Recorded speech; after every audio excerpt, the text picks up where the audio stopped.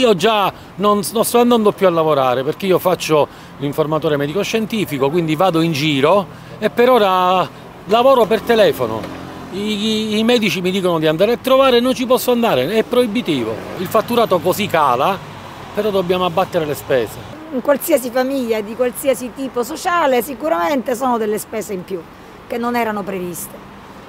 Tutti gli aumenti creano problemi, al di là del, del, tipo di persona, di famiglia, se li hai o non li hai, tutti questi aumenti sicuramente sconvolgono e danno molto fastidio. Vedo che con 20 euro vengono 8 litri, 8,85, quindi il pieno costerà 100 euro, non l'80 euro, facendo le dovute proporzioni.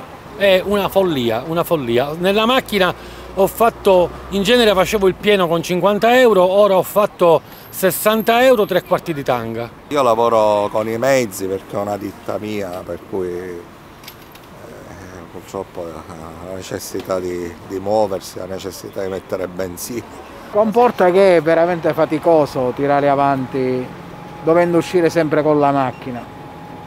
Tutti i giorni ha il suo, il suo costo ha la sua, come dire, incide molto di più rispetto a prima, né nel budget familiare.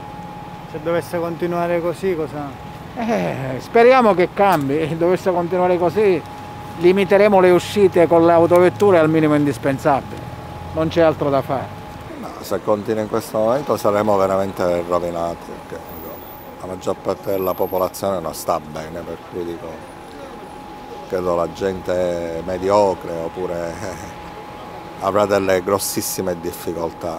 Speriamo che tutto questo possa finire in breve tempo. Il problema sono proprio le accise, assolutamente, e poi questo rincaro che c'è stato adesso con, eh, con questa guerra, guerre e accise alla fine la paghiamo sempre noi.